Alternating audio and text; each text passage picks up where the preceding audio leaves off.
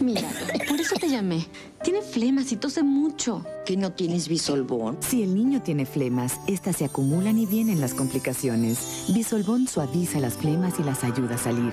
Sin flemas, su niño ya no va a toser. Bisolbón no solo calma la tos, la alivia. Consulte a su médico.